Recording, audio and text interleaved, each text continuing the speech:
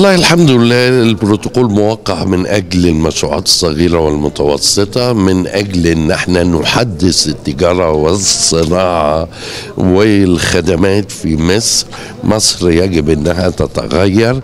البروتوكول في جزء تدريبي وفي جزء خاص بدراسات الجدوى وفي جزء خاص بالتمويل وجزء خاص أيضا بالتسويق.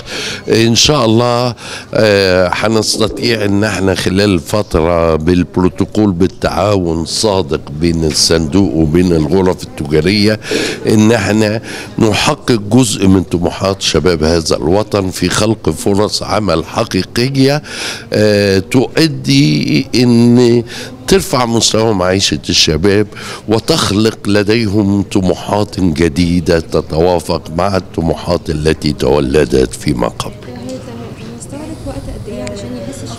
إحنا اعتقد كده ان من 1 اغسطس هنبتدي نشتغل هنحط ال- البنية الأساسية اللي تخلي الشغل مبني على أسس عملية وعلمية في نفس الوقت ونشتغل إن شاء الله بعد رمضان على 1 أغسطس.